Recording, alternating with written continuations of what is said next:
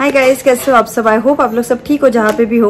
और अगर मुझे फ़र्स्ट टाइम देख रहे हो तो मैं हूँ प्रतिभा और स्वागत है आपका मेरे चैनल पर जहाँ हम बात करते हैं मेकअप सिंगर फ़ैशन के बारे में every Tuesday and Saturday so guys आज हम लोग बंगाली ब्राइडल लुक देखने वाले हैं। So without any further delay let's get started जब भी हम लोग कोई भी मेकअप स्टार्ट करते हैं गाइस सबसे पहला स्टेप होता है फेस को क्लीन करना। मैं हमेशा आपको स्टेप बताती ही रहती हूँ।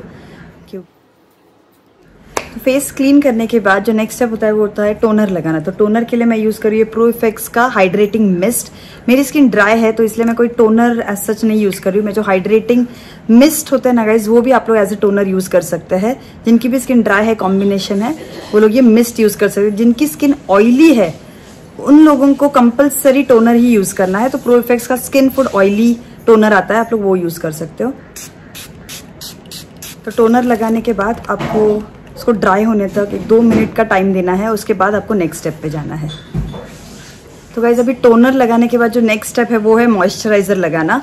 तो सी टी एम तो मॉइस्चराइजर के लिए मैं यूज़ करी प्रो इफेक्ट्स कॉस्मेटिक्स का मॉइस्चर रिटेन मॉइस्चराइजर तो बहुत अच्छा मॉइस्चराइजर है। तो मैंने ये मॉइस्चराइजर लिया है और अच्छे से लगाना है आपको।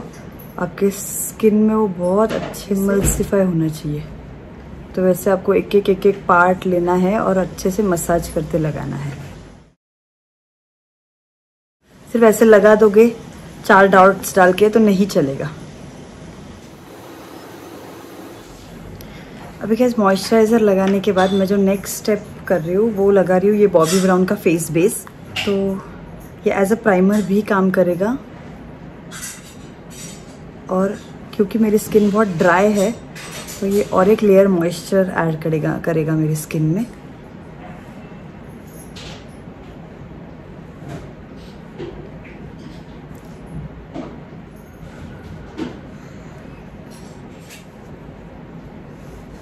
बॉबी ब्राउन का मैंने फेस बेस लगा लिया है उसके बाद मैं अभी प्राइमर लगाऊँगी। ये प्रो इफेक्ट्स कॉस्मेटिक्स का लस्टरलेस प्राइमर है जो बहुत ही अमेजिंग काम करता है। ये जेल प्राइमर है गाइस तो ये हर एक स्किन टाइप पे चलता है। बहुत अफोर्डेबल भी है। ना उसको बहुत अच्छा एक ग्रिप प्रोवाइड करेगा जिससे आपका मेकअप बिल्कुल भी पूरे दिन तक बहुत ही अच्छा रहेगा। और स्वेट प्रूफ और ऑयल प्रूफ हो जाएगा आपका मेकअप तो आपको बस ये वाला एक प्राइमर यूज़ करना है। प्राइमर लगा के हो गया है। अभी हम लोग करेक्शन करेंगे। तो जो भी फ्लॉज है आपके फेस पे आपको ऑब्ज़र्व करना है आपके क्लाइंट के फेस पे और फिर आपको करेक्शन करना है उस हिसाब से। तो अगर आप मेरा फेस देखोगे तो मुझे डार्क सर्कल्स है यहाँ पे पिगमेंटेशन है। तो मैं यूजुअली हमेशा ऑरेंज और येल्लो को मिक्स करके लगाती हूँ। तो मैं एले गर्ल की लिक्विड करेक्टर्स यूज़ कर ऑरेंज और येल्लो तो ये दोनों को मैं मिक्स करूँगी। और अपने डार्क सर्कल तो जहाँ पे पिगमेंटेशन है, जहाँ पे प्रॉब्लम है, वहाँ पे मैं लगाऊँगी। ऑरेंज येलो मिक्स कर लीजिए अच्छे से। अब ऑरेंज लगाने के बाद उसके ऊपर से भी येलो लगाओगे तो भी चलेगा, या तो फिर आप लोग ऐसे मिक्स करके लगाओगे तो भी चलेगा।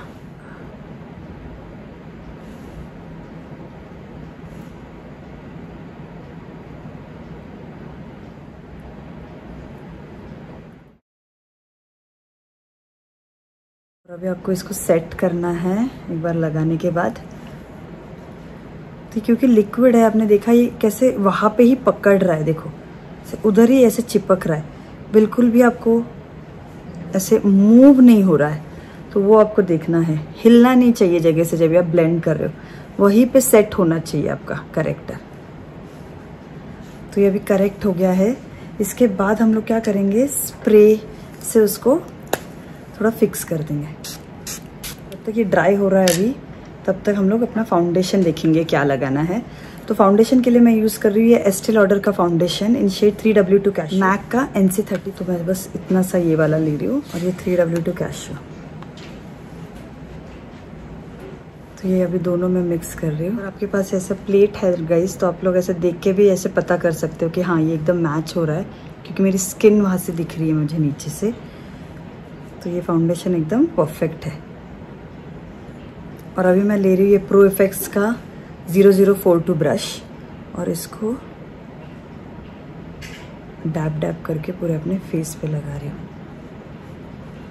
अब डायरेक्टली ब्लेंडर से भी लगा सकते हो बट उससे थोड़ा ज़्यादा प्रोडक्ट लगता है तो इसीलिए मैं ऐसे लगा रही हूँ। पहले ब्रश से लगा रही हूँ और फिर उसको मैं ब्लेंड करूँगी ब्लेंडर से। तो ये जो एस्टी लॉडर का फाउंडेशन है, उसमें एकदम बहुत ही अच्छा येलो टोन है। तो क्योंकि मेरी वॉर्म अंडरटोन स्किन है तो बहुत ही अच्छा दिखता है कुछ भी येलो अंडरटोन का अगर आप फाउंडेशन यूज़ करोगे वॉर्म अंडरटोन पीपल में तो। एकदम स्किन जैसे ही लगता है और ग्रे भी नहीं होता है। तो देखो, जब हम लोग ब्रश से ब्लेंड करते हैं तो थोड़े थोड़े ऐसे लाइंस फॉर्म होते हैं। तो उन सबको ब्लेंड करने के लिए ना, आपको एंड में ब्लेंड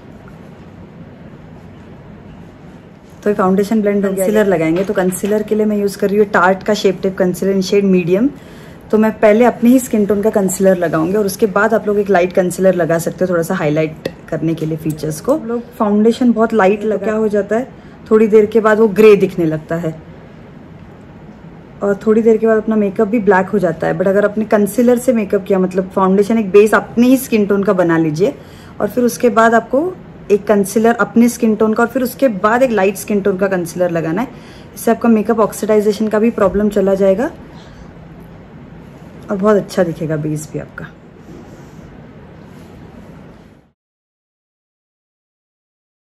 कॉन्टोर के लिए मैं शोपारल पैलेट में से ये वाला ब्राउन कलर जो है ये यूज़ कर रही हूँ। तो पहले मैं क्रीम कॉन्टोर करूँगी और फिर उसके बाद हम लोग उसको पाउडर से सेट करेंगे।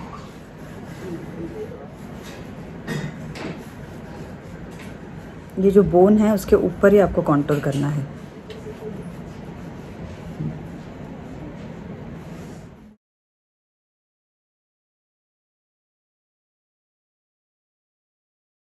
और अभी मैं इसी पैलेट में से जो लाइट शेड है थोड़ा, ये वाला कंसीलर ले रही हूँ। जहाँ पे मैंने पहले कंसीलर लगाया था, उसके ऊपर लगा रही थोड़ा सा हाईलाइटिंग के लिए।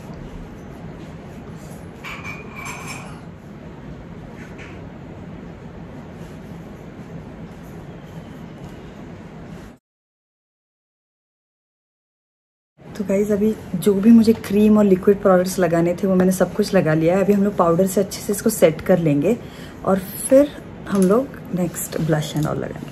तो पाउडर के लिए मैं हुडा ब्यूटी का बनाना पाउडर यूज़ कर रही हूँ। जहाँ पे मैंने कंसीलर लगाया है ना, वहाँ पे मैं लूज पाउडर लगाऊँगी और जहाँ पे मैंने कंसीलर नहीं लगाया मतलब यहाँ पे एंड ऑल तो वहाँ पे मैं एक कॉम्पैक्ट पाउडर लगाऊँगी। उसके बाद आपको पाउडर लगाना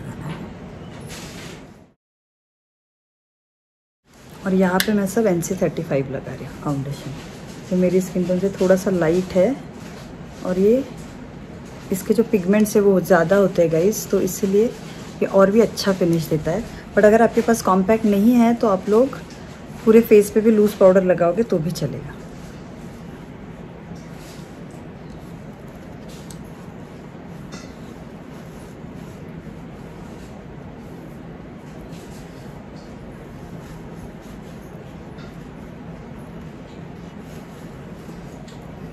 और फिर ये पैक स्पॉट लाइट ले रहे हो और उसमें से जो लाइट कलर है ना, ये ले रही हूँ। तो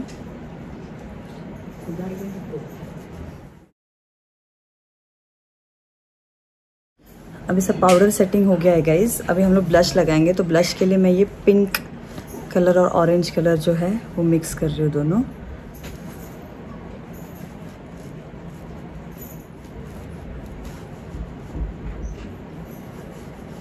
और फिर थोड़ा सा इसमें से लीजिए। अगर आपको वेट नहीं करना है ब्रश को तो भी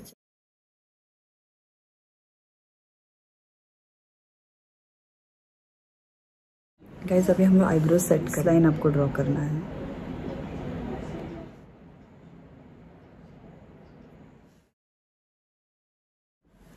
तो गाइज़ अभी आईब्रो सेट हो गए। अभी हम लोग आई मेकअप स्टार्ट करेंगे। तो आई मेकअप के लिए मैं थोड़ा सा ये कंसीलर ले रही हूँ।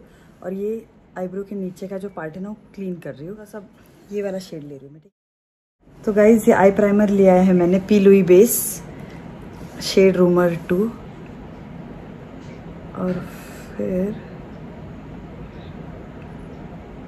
तो गाइज़ अभी मैंने आई बेस सेट कर लिया है। अभी हम लोग क्या करेंगे? पहले एक ब्राउन कलर से ये साइड कॉर्नर जो है ना, उसको सेट कर लेंगे।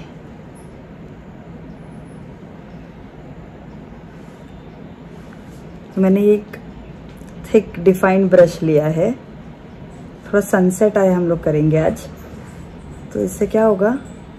तो अगर मैं ऐसे नीचे तक ही लगाऊँगी कलर तो ये इतना नहीं दिखेगा। क्योंकि तो इसलिए मैंने थोड़ा सा ऊपर अपने क्रीज तक लगाया है, ताकि मैं जब ये खोलू खोलूँ, तभी अच्छे से दिखे। तो इसे एलमेंट शेप आई मेकअप करना है मुझे आज, क्योंकि वो बहुत ही अमेजिंग दिखता है। आप लोग ऐसे ब्लेंडिंग ब्रश भी यूज़ कर सकते हो। ऐसे ब्लेंडिंग ब्रश यूज़ करके भी आप लोग कलर को लगा सकते हो कोई प्रॉब्लम नहीं है। बस आपको क्रीज तक लगाना है। और फिर इसके बाद एक लाइट ब्राउन कलर ले रही तो ये मिशेली पलमा का पैलेट पैलेट यूज़ कीजिए जिसमें अच्छा ब्राउन कलर है और जिसके पिगमेंट्स अच्छे हैं ना गाइज़ ऐसे यूज़ कीजिए। ब्राउन लिया है लाइट ब्राउन और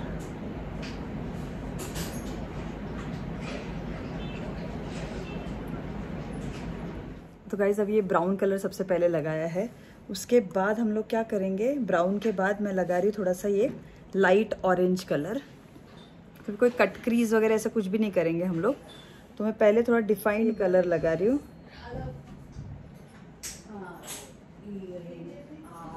थोड़ा ऊपर तक लगा रही हूँ ताकि आँखें खुली रहेगी ना तभी भी ये दिखे अच्छे से। यही कलर से मैं थोड़ा सा इसको ब्लेंड कर रही हूँ। अभी मैं थर्ड कलर जो ले रही हूँ, ये येलो कलर ले रही हूँ। तो उससे पहले मुझे यहाँ पे थोड़ा वाइट लगाना है गाइस थोड़ा सा ये वाइट कंसीलर ले रही हूँ और पहले थोड़ा सा वाइट लगा रही हूँ। अब मैं एक येलो कलर ले रही हूँ गाइज़ यहाँ पे मैंने वाइट लगाया है और अभी मैं ये येलो कलर ले रही हूँ मेरे लिप पैलेट से, क्योंकि येलो का पिगमेंट इतना दिख नहीं रहा है। तो इसलिए मैं थोड़ा सा भी यहाँ पे येलो कलर का ये लिपस्टिक लगा रही हूँ पहले, अंदर। और ये कॉर्नर में थोड़ा सा वाइट भी लगा रही हूँ, क्योंकि वाइट का भी इतना पिगमेंट दिख नहीं रहा था। और मैंने ये येलो लिया है। और जहाँ पे मैंने वो लिपस्टिक लगाया था ना, थोड़ा सा येलो उसके ऊपर ये वाला।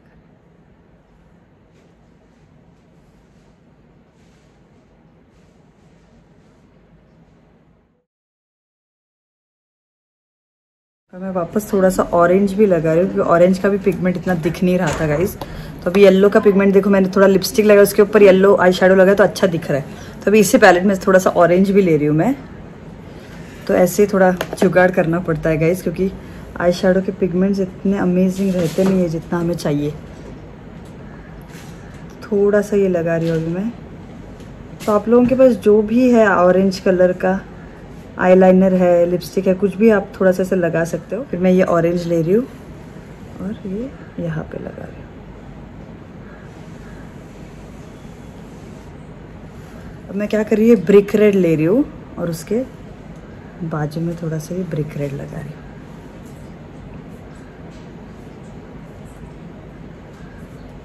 और फिर कॉर्नर में वापस ये स्पेस वाइन ले रही हूँ थोड़ा, क्योंकि ये ब्राउन भी इतना दिख नहीं रहा है। थोड़ा सा स्पेस वाइन ले रही हूँ और ये बस ब्लेंड करते करते लगाना है। अगर आपको ऐसे डिफाइंड ब्रश से नहीं लगाना है तो आप लोग ऐसे राउंड ब्लेंडिंग ब्रश से भी लगा सकते हो। पैक का जो ज़ीरो फाइव ज़ीरो ब्रश है गाइस वो भी बहुत अच्छा है। बस ऐसे ही आपको लगाना है। और फिर ये कैरेमल कलर जो है, ये मैं ले रही हूँ। यहाँ पे जब भी आपको ब्लेंड करना डार्क को ऐसे लाइट के ऊपर थोड़ा सा ऐसे ब्लेंड कीजिए तो बहुत जल्दी से ब्लेंड हो जाता है तो अभी हम आई लगाएँगे तो आई लाइनर मैंने मेबिलिन का जेल आई लिया है।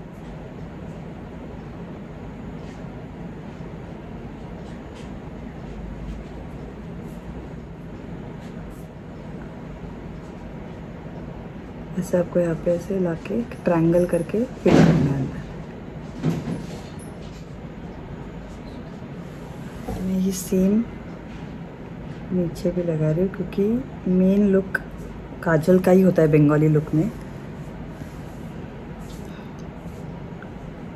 इनर कॉर्नर का करते आपको बस खींचना है।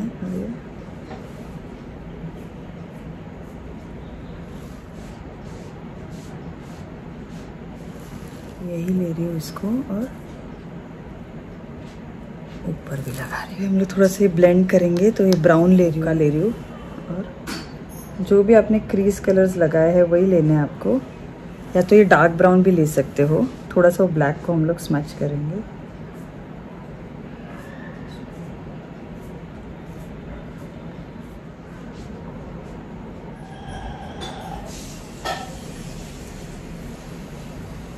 और अभी मैं थोड़ा सा ग्लिटर भी लगा मैक का गोल्ड ग्लिटर लगा रही हूँ। जहाँ पे मैंने येलो लगाया ना उसके ऊपर लगाएँगे।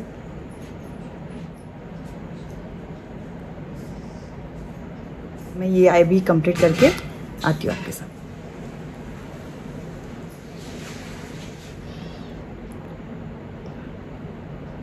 तो गाइज़ अभी मैंने आई लगा लिए हैं सब कुछ हो गया। अभी हम लोग लिपस्टिक लगाएँगे। तो लिपस्टिक के लिए मैं ये फेंटी ब्यूटी का अनसेंसर्ड लिपस्टिक लगा रही हूँ। लिपस्टिक अगर थोड़ा सा बाहर आ गया है ना तो आपको बस आपका कंसीलर लेना है। मैं ये वाला कंसीलर ले रही हूँ। ऐसा एक ब्रश लीजिए और फिर आपको बस आउटलाइन अच्छे से मार्क करना है।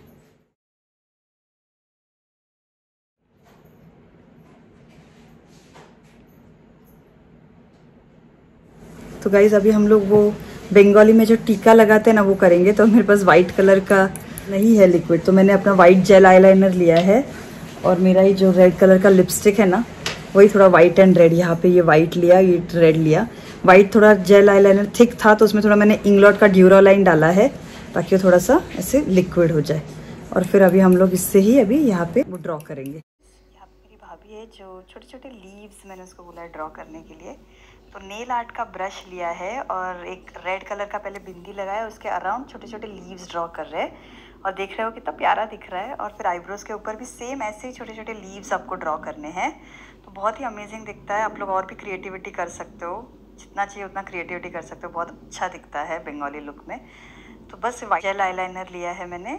और ऐसे ही पूरे आईब्रोज के अराउंड ऐसे डिज़ाइन निकाला है।